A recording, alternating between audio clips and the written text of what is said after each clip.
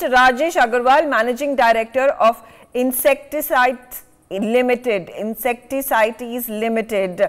Uh, Mr. Aggarwal, an overall picture and how Gautam was talking about a possibility that the cap uh, the capex, the capital expenditure this time around could be increased to about 35%. Last time around it was 45 lakh crore rupees that was then allocated to various departments, various ministries, various schemes and yojanas. Now, there has been a steady increase in the GST collections by the government of India.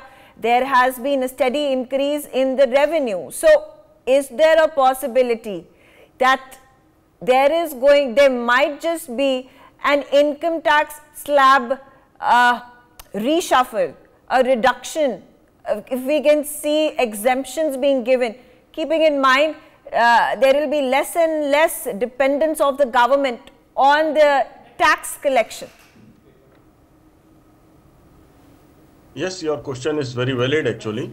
So uh, we do hope that there is relaxation in the corporate tax, but you know in India it's a double tax regime. Once you are taxed at the corporate level, then at the personal level there is a there are huge taxes today that extends to 40% plus also levels. So definitely we uh, hope that there should be some relaxation because the number of people who are uh, under this taxation regime are very, very limited if we look at the total population of our country. And I do hope that some relaxation should be given so that more people fall into the tax bracket and the people who are already paying huge taxes, they should be given some relaxation.